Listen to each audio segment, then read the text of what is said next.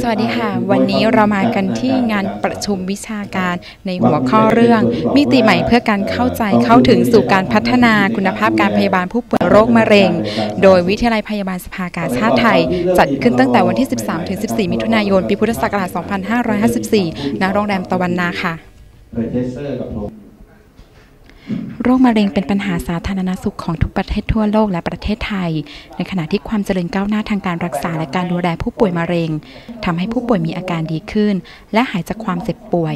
ปัจจุบันนับเป็นโรคเรื้อรังที่มีผลกระทบต่อผู้ป่วย ครอบครัว และสังคม พยาบาลเป็นบุคลากรหนึ่งในทีมสุขภาพ จึงจะต้องมีความรู้ความเข้าใจเกี่ยวกับโรคมะเร็ง และเป็นนกลไกสำคัญ ในการสร้างระบบบริการพยาบาล ที่สามารถทำให้ประชาชน เข้าถึงบริการได้อย่างมีประสิทธิภาพในทุกระยะ และทุกช่วงวัยของการเจ็บป่วยเราเอายาตัวหนึ่งชื่อก็ด้วยในปัจจุบันนะคะมะเร็งเป็นสาเหตุของการเสียชีวิตของประชาชนไทยเป็นอันดับหนึ่งเรื่องของการเจ็บป่วยด้วยโรคมะเร็งเนี่ยมันเป็นโรคจริง ๆ แล้วเป็นโรคที่สามารถป้องกันได้ เรามีพฤติกรรมสุขภาพที่ดีนะคะก็สามารถลดปัจจัยเสี่ยงของการเกิดโรคเนี่ยได้เยอะ แต่ในปัจจุบันเนี่ยก็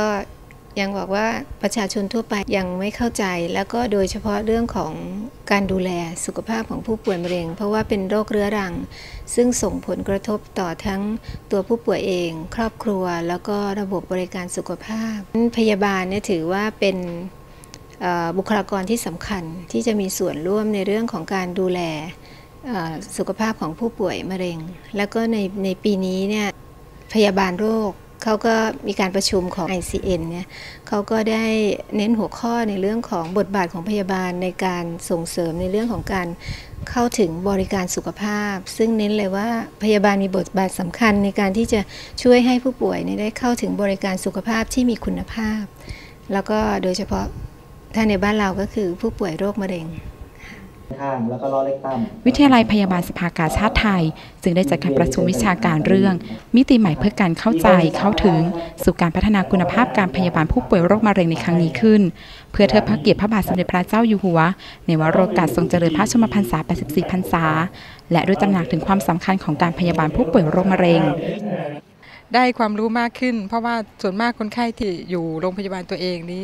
ส่วนมากที่มาเจอส่วนมากจะอยู่ในระยะสุดท้ายแล้วนะคะมาจะมาระยะที่เข้ามาที่โรงพยาบาลนี่คือต้องมาประประคับประคองอาการให้อยู่ ได้ด้วยความไม่เจ็บปวดนะคะเราก็จะได้ความรู้ด้านนี้ไปช่วยดูแลคนไข้ตรงนี้ ให้ลดอาการเจ็บปวดของเขาให้ได้มากที่สุดนะคะ อยู่ในระยะ end of life ที่มีความสุขนะคะ ตอนนี้ในโรงพยาบาลเปิดรับคนไข้ของ End of Life Care ค่ะ ส่วนใหญ่ที่เขาจะมาก็จะเป็นกลุ่มของโรคมะเร็งเป็นส่วนใหญ่ ซึ่งเราจะคอยดูเรื่องการบรรเทาอาการของระยะสุดท้ายของคนไข้นะคะ อันนี้การที่เราเข้ามาประชุมครั้งนี้มันจะทำให้เราได้ทราบถึงการดูแลคนไข้ได้ดีมากขึ้นกว่าเดิม แล้วก็นำปรับเข้าไปใช้กับคนไข้ได้มากขึ้น รวมทั้งญาติของคนไข้ด้วยค่ะต่อไปเขี่ยระบบลำไส้ออกไปนะครับค่ะสำหรับการประชุมวิชาการในครั้งนี้นะคะ หวังว่าผู้เข้ารับการอบรม จะนำความรู้ความเข้าใจนะคะนำไปประยุกต์ใช้ในการช่วยเหลือผู้ป่วยและประชาชนได้ต่อไปค่ะ